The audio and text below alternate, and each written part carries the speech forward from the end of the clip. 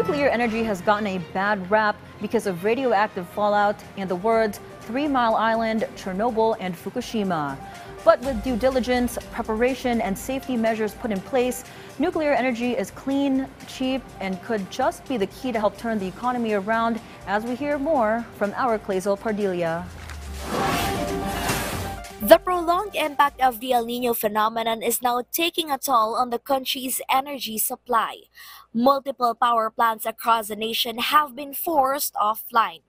This may result not only in extended power interruptions, but also pose a threat to businesses heavily reliant on power. Moreover, insufficient energy and increasing demand for electricity are now pushing prices up, making the Philippines' power charges among the highest in the Southeast Asia region. Recognizing the urgency of the situation, the Federation of Filipino-Chinese Chamber of Commerce and Industry Inc. is now advocating for the exploration of alternative energy sources such as nuclear power. Kami po sa Federation uh, naniniwala, lower electricity costs will bring in more investment. Yan ang challenge natin ngayon. Maraming gustong pumunta rito sa Pilipinas para mag-invest. Eh nakikita nila may brownout. Nakikita mahal nila yung uh, mahal ang electricity cost natin. Eh maghanap ng ibang options.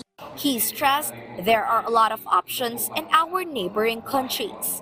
The only option that is open, that is cheap and safe. Proven na yan eh. Nuclear power is proven to be safe in many parts of the world.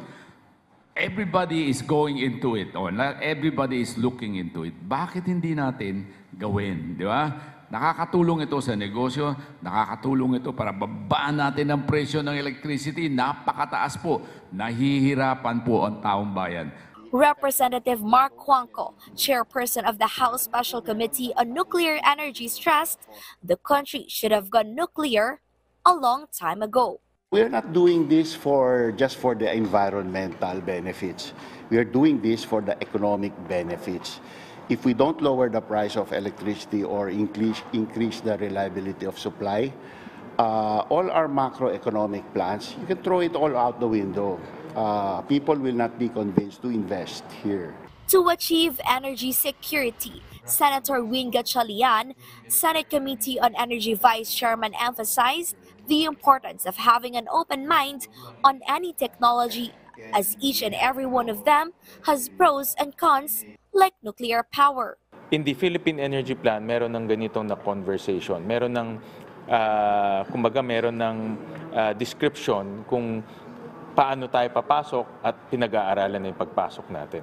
Merong pros and cons rin ng nuclear. Isa, matagal ipatayo. Pangalawa, medyo mahal yung kanyang uh, pagpapatayo, no? yung initial cost niya. Pero malinis siya, for sure, walang carbon emissions yan. At pangalawa, uh, relatively mas mura siya.